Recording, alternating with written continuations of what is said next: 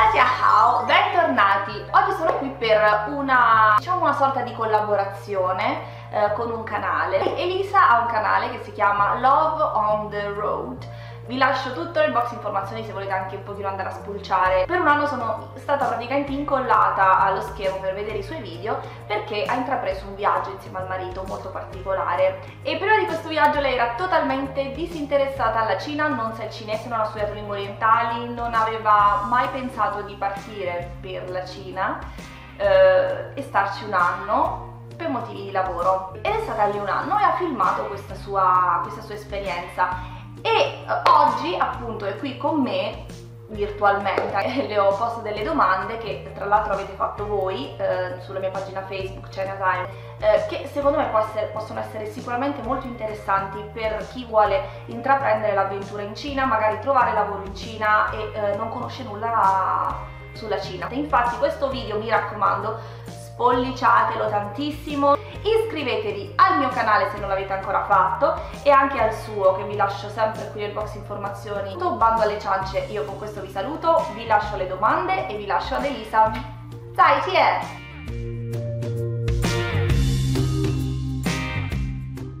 Adattarsi in Cina è stato meno difficile del previsto. Prima di partire avevamo tantissimi dubbi, domande e paure. In realtà um, una volta lì, passati i primi due o tre mesi, eravamo perfettamente adattati adattati a vivere, eh, a spostarci, a comprare, a fare la spesa, a andare a lavorare, tutto ciò che era la routine, eh, diciamo, la svolgevamo senza problemi.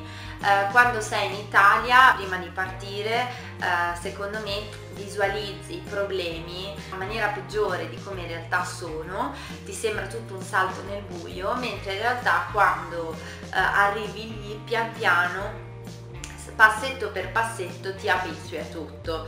Quindi secondo me adattarsi in Cina è meno difficile di quello che si può pensare. Tre lati positivi e tre lati negativi della comunità cinese. Tre lati negativi della comunità cinese che poi secondo me si riflettono anche un po' nella Cina in generale. Allora, innanzitutto uno è il problema dell'inquinamento.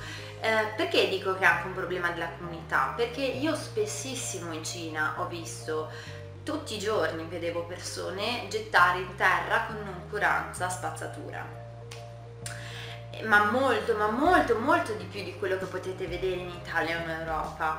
E questo atteggiamento del singolo che ho visto ripetuto un sacco di volte mi ha fatto pensare, capire il perché ai grandi livelli la Cina è inquinata, perché se c'è lo stesso tipo di noncuranza, mm, appunto capisco perché sono il paese al mondo che è arrivato mm, a essere il più inquinato, uno dei più inquinati.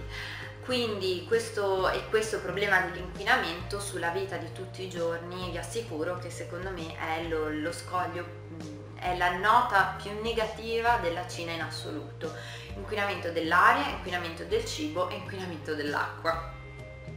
Un altro lato per me negativo è la chiusura ehm, nei confronti del resto del mondo, per esempio il non parlare inglese. Eh, in Cina nessuno parla inglese, o meglio, non è vero, alcuni lo parlano, ma se voi provate per strada a chiedere a qualcuno, mi scusi dov'è la stazione, banalissima cosa, mi scusi dove posso prendere un taxi, mi scusi, non sto parlando anche in Italia obiettivamente non abbiamo un livello di inglese altissimo, si sa, però lì non trovi davanti un muro, lì parla inglese solo un determinato tipo di cinese, molto istruito, che magari lavora in un contesto internazionale, ma la persona comune per strada, un po' perché è timida in alcuni casi, ma soprattutto perché davvero non lo sa, non lo parla.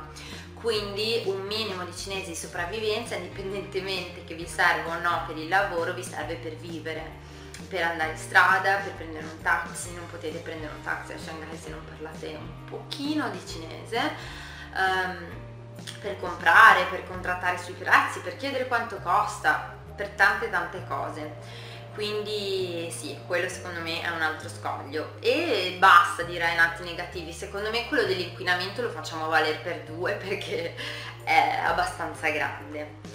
Lati positivi della comunità cinese, allora per me eh, sicuramente la, le loro tradizioni, tradizioni, la famiglia, ehm, l'importanza che danno alla, alla famiglia e alle tradizioni e per me eh, questa era una cosa estremamente interessante da guardare, da capire, da conoscere. In un anno mm, ne avrò conosciute la metà, neanche, no? Ogni tanto tramite i miei colleghi, tramite qualche amica, mm, mm, scoprivo qualche chicca più della loro cultura e tradizione, dei loro legami familiari che sono molto forti secondo me. Un altro lato positivo è l'assenza di criminalità o meglio la bassissima tasso di criminalità che ti fa sentire di vivere in un paese tranquillo dove puoi camminare la sera in strada eh, veramente in, in, tranquillità. Terzo lato positivo che è un, paese, è un popolo secondo me tutto sommato positivo, gioioso, ehm, positivo, sì, secondo me vive la vita abbastanza, o almeno questo è quello che fa sembrare all'esterno ho visto raramente dei cinesi arrabbiati, gridare, nervosi. Mm, forse fa anche parte della loro cultura non esternare troppo questo tipo di emozioni in pubblico, però li ho sempre trovati accomodanti, non freddi, eh, non sulle loro, ma eh, superato lo scoglio linguistico, ecco, eh, li ho sempre trovati gentili e, e piacevoli. Vivere in una società con tanti divieti come la Cina ha i suoi lati negativi. Um, in Cina è censurato Google, Gmail, YouTube, Facebook e quant'altro. Si bypassa il problema con l'installazione di una VPN, ora non entro nel dettaglio di che cos'è una VPN, ma molto semplicemente è un meccanismo che vi permette di far risultare il vostro computer connesso a internet in un paese diverso dalla Cina per cui eh, riuscite ad andare su tutti questi siti che ho appena elencato. Sono delle VPN gratuite che funzionano così e così e delle VPN a pagamento che funzionano abbastanza bene. Bypassato il problema in questo modo, comunque in Cina bisogna abituarsi a un internet lentissimo che spesso si pianta e che crea dei problemi e magari la VPN non sempre può funzionare. Nei contesti degli uffici, nei contesti lavorativi, eh, si va bene perché installano comunque delle reti molto potenti. Reti domestiche, io non sono un'esperta di piani eccetera, diciamo che per quella che avevamo noi e quello che sentivo che avevano anche vari amici, eh, in generale è veramente molto molto lenta. Ci si fa l'abitudine, venendo dall'Italia i primi giorni spaccheresti il computer, poi eh, ti abitui, come ho detto all'inizio ci si abitua veramente a tutto, quello che ti sembra fondamentale in Italia poi una volta che sei lì pian piano ti abitui e quando torni in Italia riapprezzi magari la qualità del cibo piuttosto che il fatto che internet vada veloce.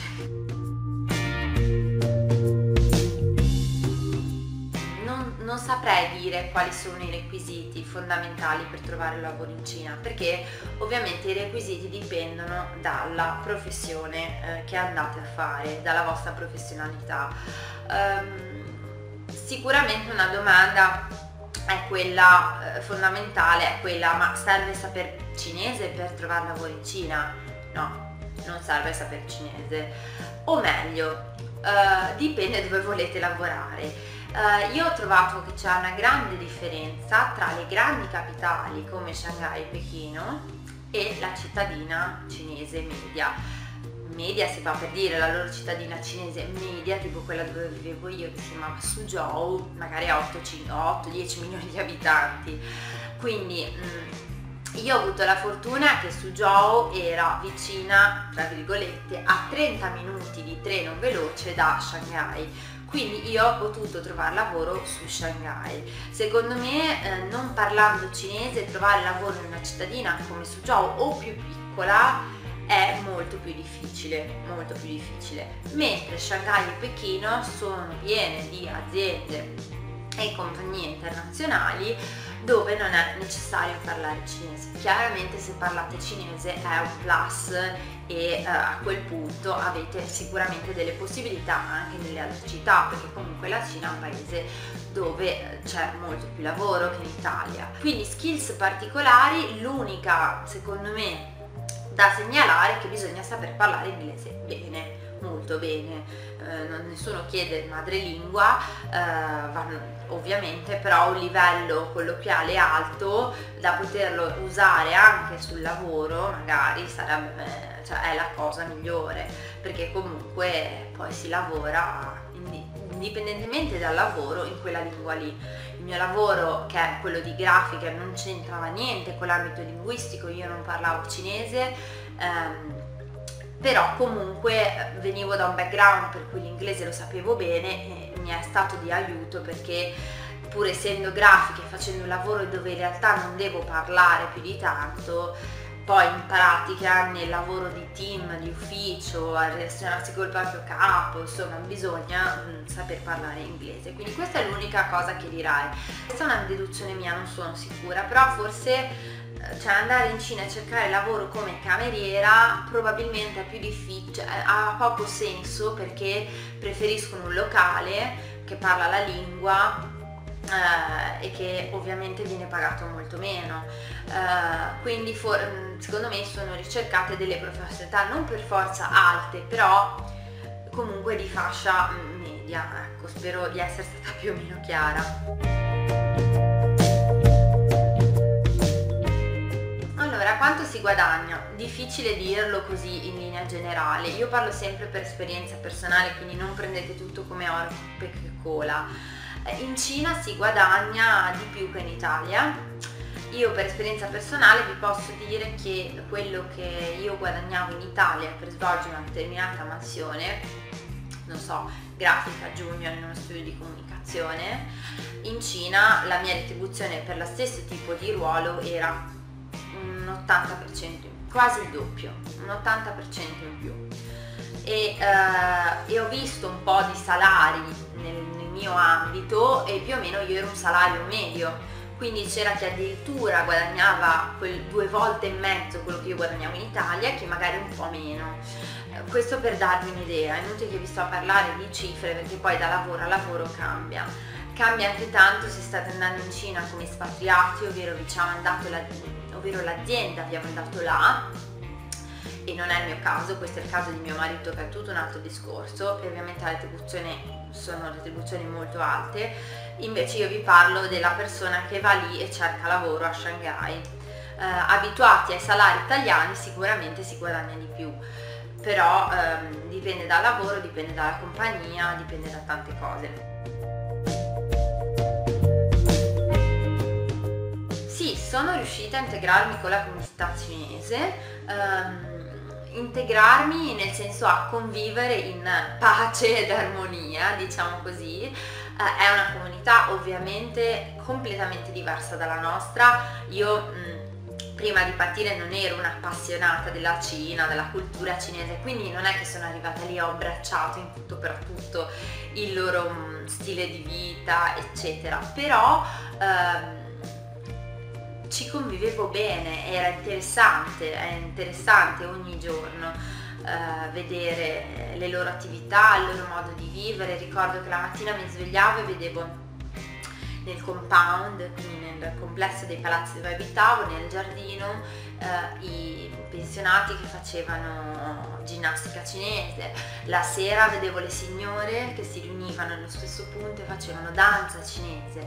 Sotto le varie festività, eccetera, ogni volta scoprivo delle tradizioni, delle mh, mm, particolarità che rendono la vita ogni giorno più interessante e più stimolante. Se tornerai a vivere in Cina o come turista, sì, perché no? Ho sempre detto che non, non, la Cina non è un paese dove vorrei vivere per sempre, dove vorrei vivere più di 3-4 anni per un problema sempre relativo all'inquinamento e alla qualità del cibo non intesa come bontà del cibo, intesa come eh, qualità, proprio qualità, inquinamento, e, e quant'altro. Quindi io per queste ragioni non è un paese dove vorrei vivere più di 8 anni e dove terrei i miei figli per più di 8 anni anche se si può fare, ho visto tantissime famiglie con bambini, famiglie occidentali con bambini, si sono in scuole internazionali, si vive bene, non è che... Però personalmente se potessi scegliere, ecco, ci tornerei a vivere per un periodo limitato come ho già fatto, eh, ci tornerei come turista? Sì, perché no, l'ho vista, l'ho vista in tutte le salse, ne ho vista abbastanza, però se capitasse ci tornerei, ci tornerei volentieri. Grazie a China Time per le domande, e ciao!